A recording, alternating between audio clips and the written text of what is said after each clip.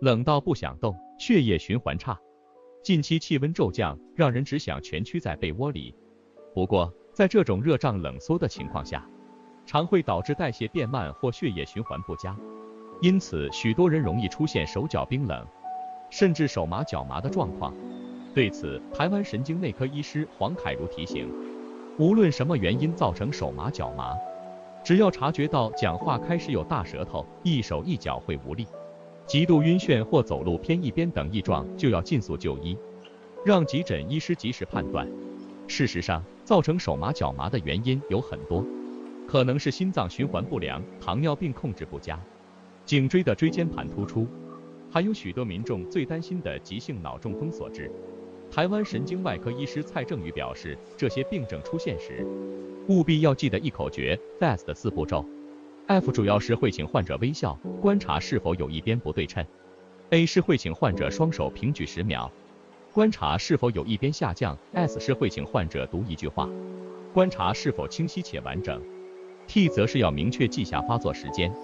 除了大众熟知的血液循环不良，腕隧道症候群也是导致手脚麻的原因之一。台湾骨科医师胡明贤提到，通常手部麻的地方会在前三指。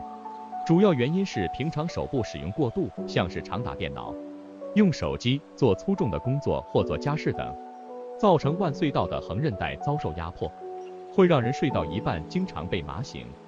冬季炎冷的天气下出现手麻脚麻的情况，让许多人常无法分辨是因为天气寒冷所致还是中风的前兆。